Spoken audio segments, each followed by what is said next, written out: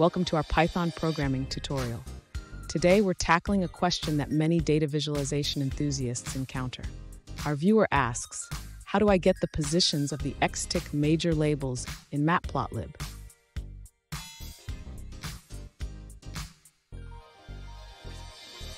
Let's break down the problem.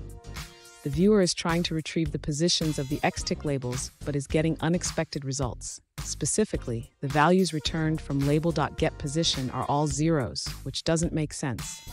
So, what could be going wrong?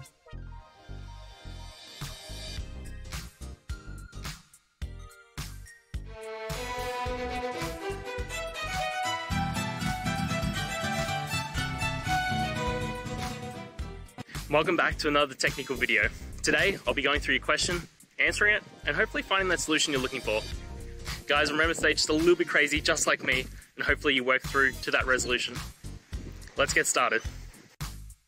To get the positions of the XTick major labels in Matplotlib, we first need to understand how tick labels are positioned.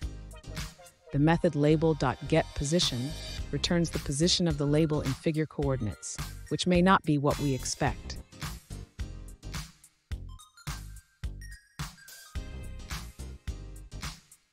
Let's start by plotting a simple function using matplotlib.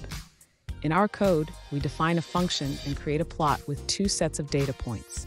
This will help us visualize the XTick labels.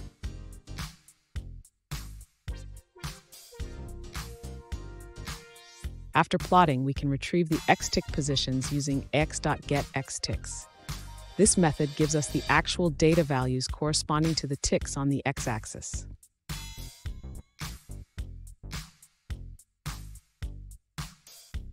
To get the pixel positions of the XTick labels, we need to transform the data coordinates to display coordinates. We can achieve this using the AX trans data transformation.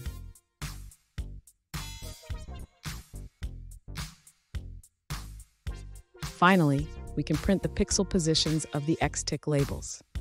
This will give us the exact locations in pixel units, which can be useful for further customization or annotations.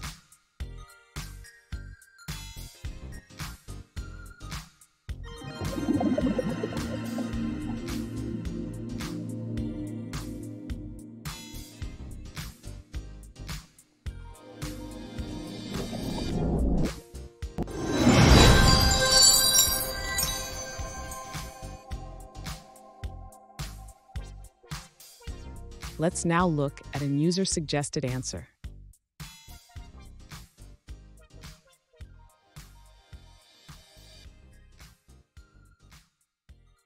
To get the position of XTick labels in Matplotlib, you can adapt a solution that retrieves the bounding box of each label.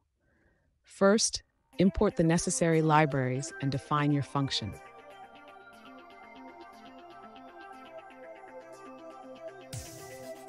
Next, create your data points and plot them using Matplotlib. After plotting, you can draw the canvas to ensure all elements are rendered.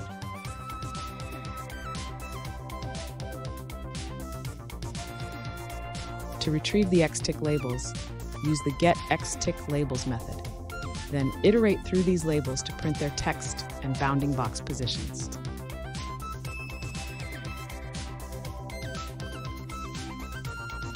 Finally, you can print the X-Tick positions using getXTicks.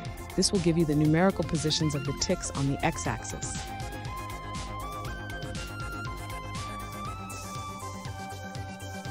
And that's it guys. I hope the video helped find the resolution that you're looking for and you got the answer and worked your way through. If it did, please hit subscribe, I'd really appreciate it. And until the next time you need technical help, I hope you have a good one.